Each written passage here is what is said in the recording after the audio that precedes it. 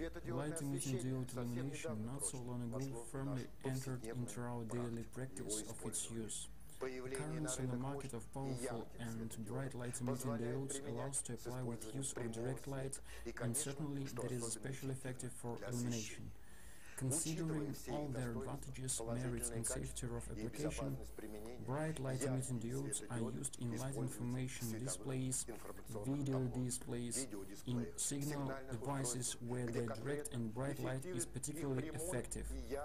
Automobile industry cannot assume its existence anymore without light-emitting diode presence in stoplights, blinkers, parking lights, saloon and control panel illumination.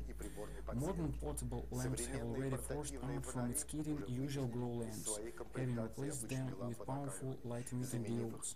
Especially, it would be desirable to note merits of bright light-emitting diodes in architecture of buildings and interior home illumination. Any replanning during routine repairs on the apartments enters in advance in the house budget beautiful light-emitting diode illumination or lighting of any element of a design innovation. The market is gradually saturated with new lighting devices with already built-in bright light-emitting diodes. To try to embody an idea of creation of something similar by yourself is quite real. It's necessary just to want.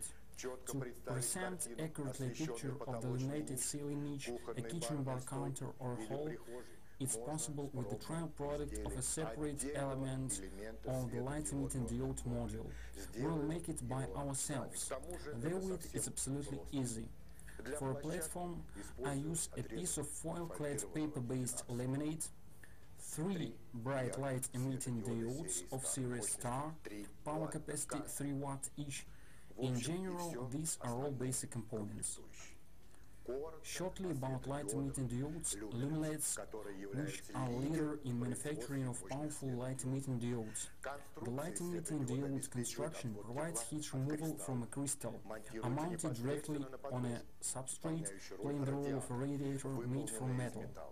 Despite the provided standard radiator, excessive quantity of heat obliged to use an additional radiator protecting from overheat on the construction, to which assembly or some such light-emitting diodes are directly mounted.